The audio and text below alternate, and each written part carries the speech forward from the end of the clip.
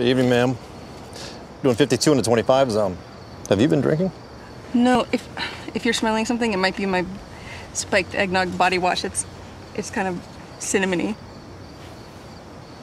Oh, Really cinnamony. well, I'm getting it. Are you wearing some? Uh, my native fresh mistletoe I deodorant. Olivia? This is my Jason, Husband. my husband.